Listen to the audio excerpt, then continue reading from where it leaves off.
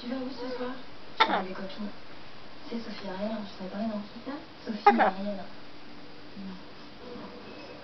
Puis après, Sophie d'Argent, c'est une dans une boîte de station, je sais pas si. Et avec Jean-François, ça va? Non.